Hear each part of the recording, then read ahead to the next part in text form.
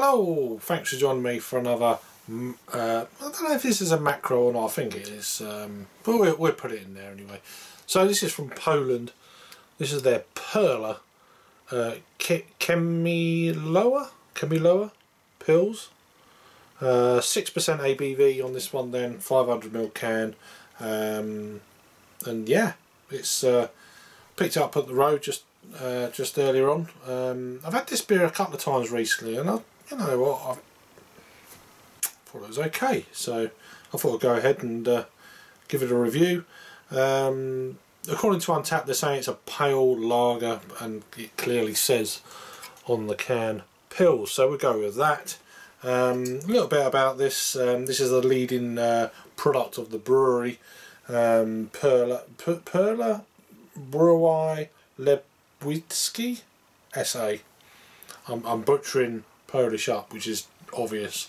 Um, the finest quality ingredients use the best of uh, hops of the Liberecki region and then original uh, centuries old recipe have the greatest influence on the unique attributes of this beer. Its char char characteristic bitterness and the golden colour owing to its perla uh, Chemiloa uh, is able to meet the demands of the most exciting gourmets and boast worldwide appreciation. So lots of lots of it's a lager or Pils, whatever you want to call it. Um, just trying to think. Water, yeah. Put it in there. There we go.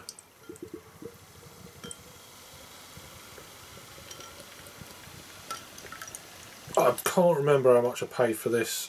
Um, it's a, probably about 150 or something like that. A little bit left in the uh, thing. Let's get the bubbles off. Here in a glass then, crystal clear, nice amount of carbonation, half finger of white frothy head. It's going down really quickly. Um, yeah, it's that, that, that classic uh, pill stroke lager look. Uh, clean. Um, get aroma. Yeah, it's, it's a little bit, I must admit, doing a review and then just drinking it at your leisure is different. I'm getting a very kind of um, dishwater, not dishwater, like cleaning um, detergent, uh, wash washing up liquid kind of aroma. Bit weird, but but yeah. Didn't really pick up on that before, but as I say, when you put your old uh, review head on, ah, let's give it a try anyway. Cheers.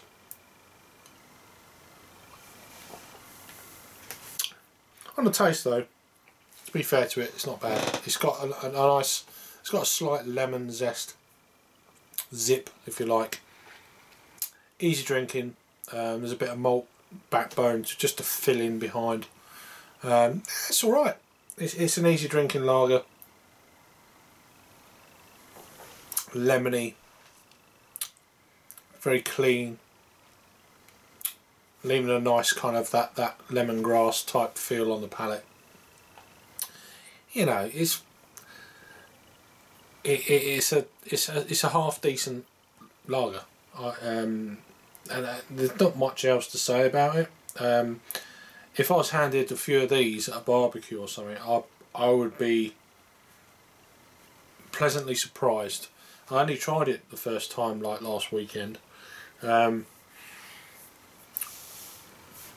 I got one of this. Um, what else did I get? I got the Oranjeboom 8.5 and another Polish beer, but I can't remember. Um, threw the can out straight away. So.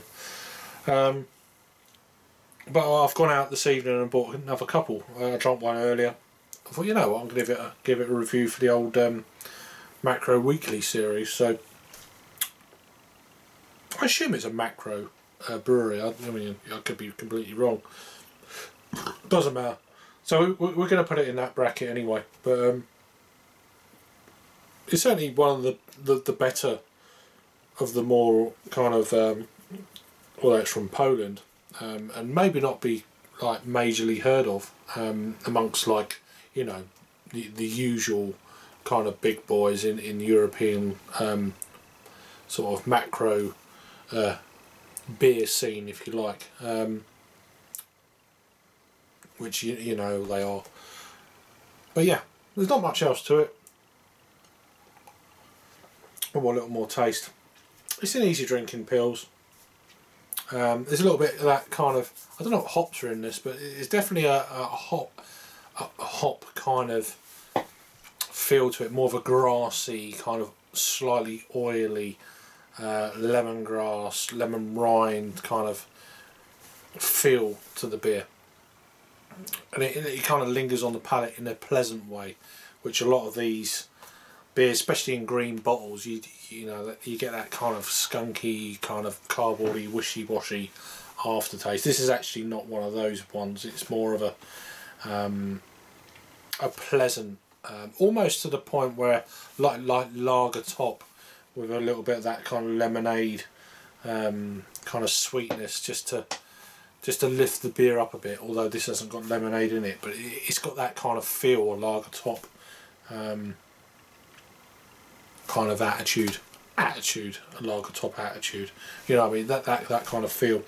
um, so yeah let me know if I've had this one before um, I'll just pour the rest of this in and we'll clear off but yeah it's um, it's one to try if you fancy something just a little bit different I'd say with a little bit more flavour I'd say than the uh, the more regular ones. Um, check it out. I mean, give it a go. I mean, it's one of them, one of them ones. If you if you if you want a, your, your local lager fix and you want to try something a bit different um, from from the standard sort of stuff we get. Um, um, I have no idea distribution in the UK of this. I imagine it's around your local offie or whatever.